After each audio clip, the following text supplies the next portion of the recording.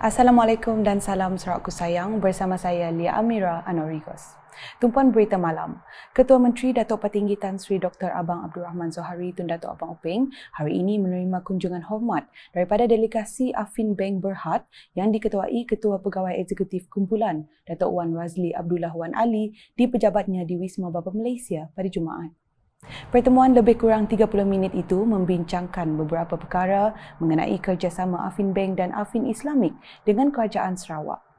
Dalam masa sama turut disampaikan sumbangan zakat bernilai RM250,000 menerusi Afin Islamik kepada tabung Baitul Mal Sarawak yang diwakili Yang di-Pertua Majlis Islam Sarawak Datuk Misnu Taha. Bercakap kepada media, Datuk Wan Razli berkata beliau amat berbesar hati apabila dimaklumkan oleh Ketua Menteri bahawa banyak projek kerajaan negeri yang memerlukan sokongan Afin Bank untuk pembangunan negeri Sarawak.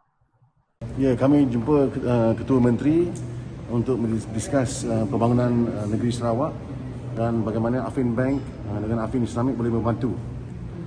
So, Ketua Menteri kata dia ada banyak projek yang kita boleh tolong support lah uh, untuk membangunkan negeri Sarawak. Afin Bank Berhad merupakan institusi perbankan yang terkenal di Malaysia yang turut menawarkan pelbagai pilihan perkhidmatan dan produk kewangan di samping memenuhi semua kehendak pelanggan seperti korporat dan individu. Manakala Afin Islamik pula adalah anak syarikat milik Afin Bank yang telah beroperasi sepenuhnya dengan entiti perbankan Islam beserta dengan produk dan khidmat yang mematuhi undang-undang syariah.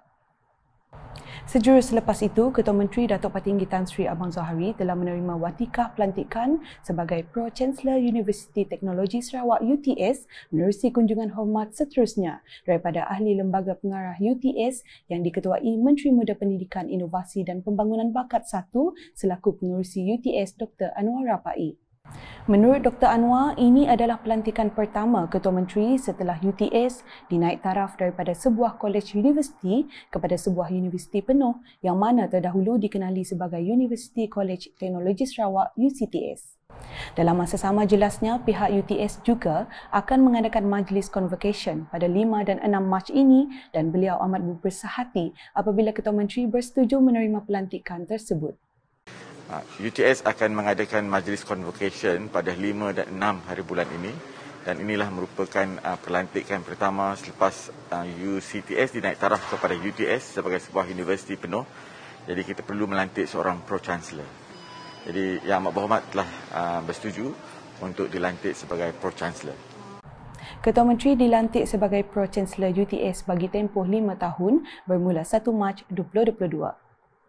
Pada sebelah petang pula, Ketua Menteri juga menerima kunjungan hormat daripada Duta Besar Turki ke Malaysia, Dr. Mervi Safa Kavasci beserta rombongan.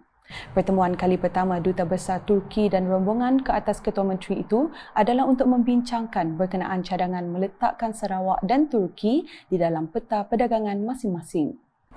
Menurut Dr. Mary Safakavachi, sebagai sebuah negara yang menjadi pintu masuk ke Eropah, Amerika Syarikat, Timur Tengah dan Asia, inisiatif sedemikian akan merapatkan lagi hubungan perdagangan serta perniagaan komersial yang telah diwujudkan sebelum ini bagi memudahkan tujuan pelaburan.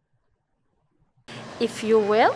Uh, Sarawak and Turkey are in a, a, trade and commercial business relationship already. Uh, we do uh, uh purchase aluminium. Uh, raw material from Sarawak for a very big amount uh, for a very long time. And we want to make sure that we take this small emblematic example of trade relationship and cultural relationship uh, to the next level. And we are here uh, to put uh, Sarawak on Turkey's map and to put Turkey on Sarawak's map. And uh, we would like for Sarawakians uh, to look at Turkey, Turkey, not just as Turkey, but as a gateway to where it is geographically located. Laporan seterusnya, baucer bantuan persekolahan telah disampaikan kepada 1,106 pelajar tingkatan 1 sesi 2022 di 42 buah sekolah di Parlimen Sibuti pada Kamis. Ahli Parlimennya Lukan Isman Awang Sauni telah menyempurnakan majlis penyerahan bantuan tersebut di Pejabat Pusat Khidmat Masyarakat Sibuti dalam tiga sesi. Katanya pemberian baucer ini adalah kesinambungan baucer pakaian sekolah yang diberikan pada tahun lepas yang merupakan salah satu program membantu rakyat Parlimen Sibuti. Selain itu, beliau turut menyalurkan geran Persatuan Ibu Bapa dan Guru PIBG berjumlah RM126,000 kepada 42 PIBG dalam Parlimen Sibuti. Semasa berucap, Lukan Isman amat menekankan mengenai kerjasama PIBG untuk sentiasa memastikan kebajikan pelajar dijaga. Sehubungan itu, beliau memohon agar PIBG dapat mengenal pasti pelajar miskin tegar dan pelajar yang berstatus anak yatim tanpa mengira kaum atau agama supaya memudahkan Pusat Khidmat Parlimen Sibuti memberikan bantuan yang sewajarnya.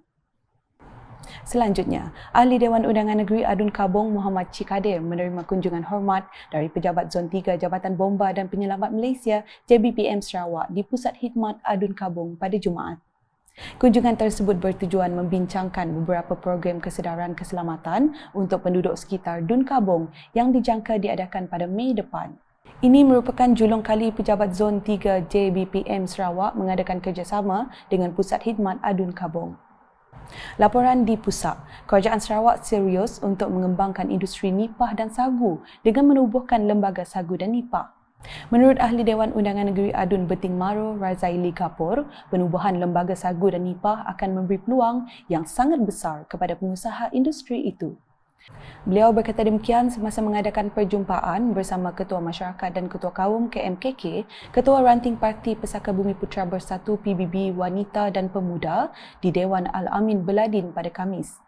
Dalam perjumpaan itu, beliau turut menegaskan setiap pemimpin di akar umbi seharusnya berperanan untuk menangkis tohmahan di media sosial serta memberi penerangan kepada rakyat mengenai projek yang telah dilaksanakan Kerajaan Sarawak. Perjumpaan tersebut juga bertujuan membincangkan mengenai pelbagai perkara dan isu di kawasan tersebut.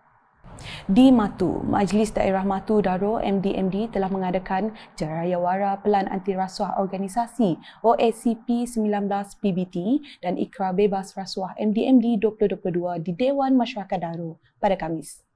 Program tersebut diadakan dengan penlibatan semua kaki tangan MDMD dan juga pembentangan oleh semua seksyen di dalam MDMD.